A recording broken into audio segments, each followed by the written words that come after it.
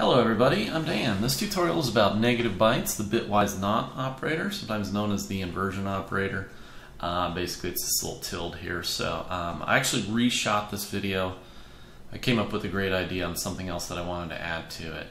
Uh, first things first, let's go and open up web browser to, uh, to my website, thegpu.com, and I'm going to come over here and select the menu and then C tutorials. We'll scroll down here to negative bytes, bitwise not. So this tutorial is going to build on concepts from bits and bytes and adding bytes. Um, I've decided to introduce this relatively advanced concept early on because I believe I can explain it in such a way that it can be comprehended relatively easy using examples. Now understanding this concept will make memory management much easier to master.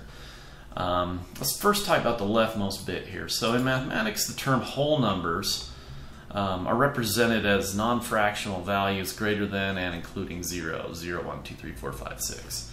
Now also in mathematics, the term integers expand whole numbers to include non-fractional negative values, right? Negative 4, 3, 2, 1, so on and so forth there.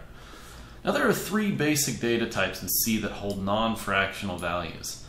Short, int, and long, and uh, we could technically throw char into the mix, but it's, it's a little special there. Um, I'll talk about that in a later video. The sizes of these data types depend upon the architecture and compiler, but later on down the road I'll show you why you should always use the size of operator to determine the actual byte length.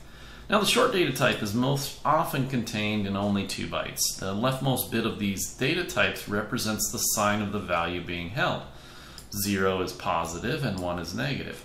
Now we learned from my previous tutorial that a short with a value of three would look like this, right? First byte would hold all zeros. Next byte would have six zeros followed by a 1 in the 2's place and a 1 in the 1's place. So what a short with a value of negative 3, so would a short with a value of negative 3 look like this, right? Uh, in other words, we just flip the first sign bit there and then this would make it 3, negative 3. Well, the answer is no, and I'll, let's examine why. We have to actually think about, you know, how uh, how addition is done, right? So you want to make sure you're familiar with specifically the adding bytes tutorial there. So let's talk about addition the wrong way. Now, following the rules of binary addition from my previous tutorial, let's add 3 plus 3, right? Um, 3 and 3. So add the ones, that becomes a 0, carry this 1. These two ones become a. Uh, you can you can combine the two ones and carry it from either one of these three. But anyway, you always do. You do have an extra one, so you drop that down, right? And so basically, and then a one and all these zeros drop that down. So you end up with a one in the fours place, a one in the twos place, which equals six. Fantastic. Now let's change that leading bit to a 1, a negative, and then we should be adding negative 3 plus 3, right? So if we just change this bit here and then we do the addition on there, um, this doesn't come out to zero, right? Negative 3 plus 3, that does not come out to zero. So using that logic, we ended up with a total fail. Let's talk about addition the correct way. So we know that we need to come up with some bit representation for negative 3 that when added to 3 will equal 0. So let's do some experimenting and um, what sort of binary pattern can we add to 3 to produce a number with a 1 in every bit, right? And that's easy. So here's our number 3. And if we just inv invert all of these bits, right, on whatever byte this is, we don't care what this is, then if we add this all up, we end up with um, another number that's all ones. Great, mission accomplished. So at this point, we don't care what the second number is or what the end result is. Now let's figure out what we can add to the end result to produce a number with a zero in every bit. Okay? So taking this number here, we're going to start off with that up top here. We don't know what it is, we don't care, right? And we're going to add a 1 to it. So 1 and one, zero. We end up carrying the 1. Um, and we have this cascading effect all the way down here, right? Till we get to the very end and we end up with this, this extra one over here, right? But, uh, you know, great mission accomplished again. We ended up with, uh, with zero, right? So what happened to the red one? Well, it can't fit in the space allocated for a short data type, so basically it disappears or overflows, whatever you want to call it. Doesn't matter, can't fit. Um, we'll, we'll go over some of the some other stuff later on as far as memory goes, but uh, So basically, in order to produce negative 3, we simply added a byte with every bit inverted, plus we added 1, right? So if we start off with 3 here, we invert all the bits, and then we add a 1 to it, right? You can do the, the math real quick here, and you can see that we do end up with 0. Okay? So there we have it. Start with a positive number, simply invert all the bits and add 1 to produce the negative value. So essentially, this plus this, we know equals negative 3 right? So come down here and take that newfound knowledge. We take 3, and then we take this, this short and this short. We add them together, and we end up with this right here. And when we add all these, these bits together, we end up with 0. So we know this number here is equal to negative 3. Okay, so that's, that's how it works. So let's, uh, let's do, what if we start off with a negative number and we apply the same logic, right? So here's our negative 3 we invert all the bits, right? And then we add 1. And as you can see, you know that uh, this, this number plus this number equals 3 because uh, you got a 1 in the 2's column and a 1 in the 1's column there, and we end up with 0. All right. So um, here's what I want to do. I'm going to go ahead and run some code right here, and then we're going to go into this deeper understanding stuff here. Um, and I might actually jump down to this bitwise, that stuff there, but uh, yeah, let's go ahead and do this. I'm going to move, move my browser off screen here. I've got a shortcut to the command prompt on my desktop, but if you don't, you can create one really fast by right-clicking, selecting New Shortcut, CMD, Next Finish. And then let's go ahead and open that up. First thing you want to do if you're new to my videos, type in GCC. You should see this come up right here. Now, however, if you see like a command not recognized, unre unrecognized phrase or keyword. Watch my video on installing and configuring GCC. You want to make sure you get that done first. CLS to the screen, cd backslash, go to root. To make a directory here called cdemo, right? And I already have that folder, but if you don't, it will create it for you. We'll change directories to the cdemo folder. And I forgot what I'm to call this, negative bytes. Okay, I'm going to make a directory here called uh, negative bytes change directories to that folder. And I could use Notepad to do this, but I'm just going to go ahead and throw this up in Notepad++. Bytes.c. Right. Alright, let's bring the browser window back over here and copy all this stuff here. come over and paste this. If you've been watching my previous tutorial, don't worry about the print bits function. Um, it's just there to display all the bits for whatever value we pass in there. So the, let me see, what do I got commented there? I actually want to comment this portion of it here too as well. Um, so let's come out here and save that.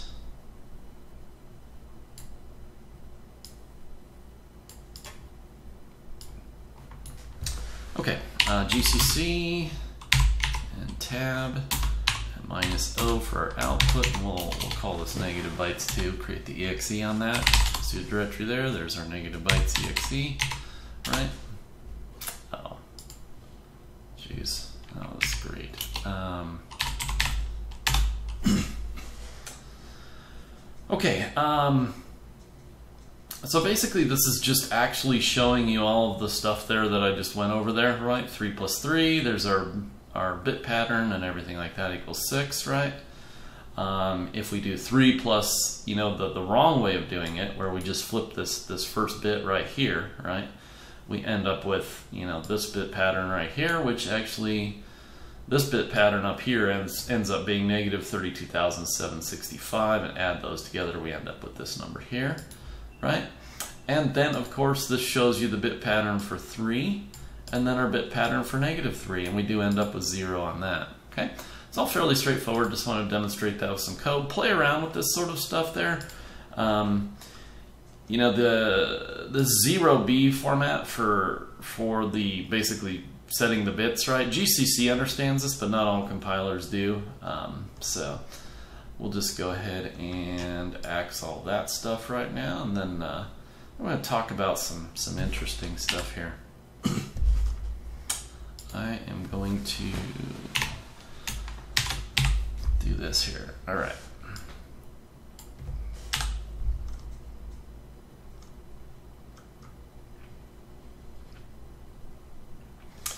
Okay, um, so what I've got, what I've got here, and let's save that real quick there, and I've got this bit pattern right here, right, which is as large as this can get. So the first, the first byte here, the first bit of this short value here is actually a zero, meaning this is a positive value, right?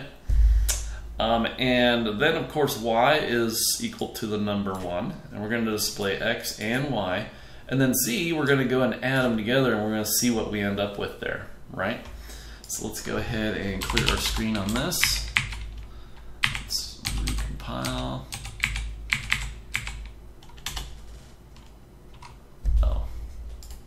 Because I commented this stuff out here, I need to do uh, short to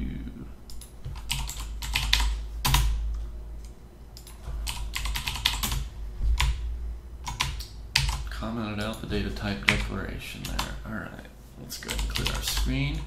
And now I'll run negative bytes.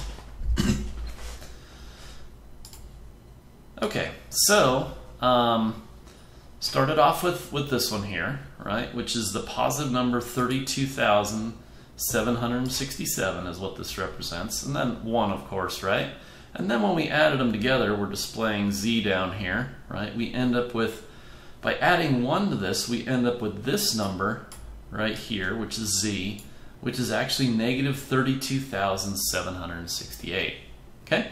So that's what happens when we actually go one more than the than the maximum value over here, right? And I'm going to bring back over my website here. So what I want to show you guys is this little illustration I made here, right?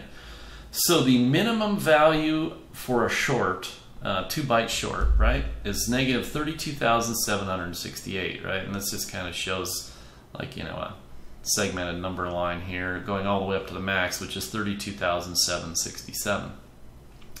Now, when we added 1 to 32,767, we ended up with the number negative 32,768, right? So, like, jumped back to the start, right? Now what I'm going to do is move that off screen here and we are going to uh, just comment that out and we're going to run a little program that'll kind of bring all this together here and make sense here in just a second. So um, I'm going to set uh, Z Let's grab this line of code right here. Paste that there. Okay, so we're going to start Z off. You know what? I'm actually going to make it on zero, right? So two, three, four, five, six, seven, eight. One, two, three, four, five, six, seven, eight. Okay. All right, that looks pretty good there. Make sure I actually got that many. One, two, three, four, five, six, seven, eight. One, two, three, four, five, six, seven, eight. Excellent. So we're going to start off with Z, right? And we're going to display it to the console, right? And it'll show the, the number in there, right? Uh, while one just basically is the same thing as while true. This is an infinite loop here. It'll keep on going. I'll show you how to pause it, how to kill it, so on and so forth here, right? So first we're going to do that, and um, then we're going to have some space in there. And actually what I think I'm going to do instead of that, I'm going to do a, a slash T for a tab there. And then we're going to display all the bits of that pattern there. All right, so let's come up here and save this. And maybe I'll make the code change on that later. All right, let's clear the screen, recompile, rerun. okay, so what it's doing is it's looping through, and as you can see, the numbers are increasing, right? And you'll see the bit patterns increase here too as well. You can simply click on this to stop it, right? Uh, left click with your mouse, right? And then hit the escape on your keyboard to start it again. All right, so what's going to happen here is once this gets up to 32,767, we're just going to uh, pause it a little bit there. Something interesting happens at that point. And we are almost there. Okay, we'll scroll back up here just a little bit there. okay, so adding one to all these bits there, you can see 66, they added one there, bada boom, bada bing. And then there's our overflow, and so actually negative, or 32,767 becomes negative 32,768 right? And then we keep on adding to it here, right? So you can all you can see that we we start off with this basic this overflow, and now this first leftmost bit is actually one, and we're dealing with all negative numbers at this point in time, right? And as we add add one, the numbers become larger again. So basically, what this what this is doing here, and I'm just going to just kind of scoot this over, and I'm going to bring back over this here. So this visualization here is, is pretty poor, but here's accurate vi visualization, right? Um, we can see that, you know, right now it's actually somewhere right along here, right? And, you know, it's cruising around almost like a, you know, in a, in a circular motion here, right? We just passed up zero and then we'll keep on going until we hit, you know, 32,767 and then boom, all of a sudden we go all the way down to its minimum value. So the point that I'm trying to make with this accurate visualization here is that these two numbers are actually only one number apart, okay? They're, they're well, I mean, with uh, binary wise, they're only one number apart, right? So once you understand that concept there on, on, on how the bits, you know, equate into actual numbers and everything like that, and then you understand that these two numbers are actually sitting right next to each other, then you'll have a, a much better idea on that. Okay, the, uh, the last thing that I want to talk about here, and I'll just let that run in the background there and do its thing there, is um, the bitwise not operator. So the, the operator, the not operator here is basically the tilde, or you call it the inversion operator, whatever, you know, you, however you remember it there. It, it inverts each individual bit of a value and then returns the result. So if you follow along with everything above, then this statement down, these two statements down here will make perfect sense. And by the way, do not confuse the bitwise not operator with the logical not operator, okay? So let's pop back over the code there. Once again, to pause it, you can just simply click, escape starts it again. Um, you can hit Control C to actually break out of it, and then you're good to go there. So let's go ahead and clear our screen, pop back to the code window here and we'll comment out that and what did I do oh yeah this is what I want to uncomment here okay so and of course I need to put back in my data type declarations there. Okay, so what, what, we're doing here is we're just setting this equal to, you know, just basically an integer literal here, right? Uh, short x equals 3, right? And then short y, we're doing is not x, bitwise not x. And as you know, this will invert every single um, bit there, and then we do plus 1. So let's save that. Let's come back up here.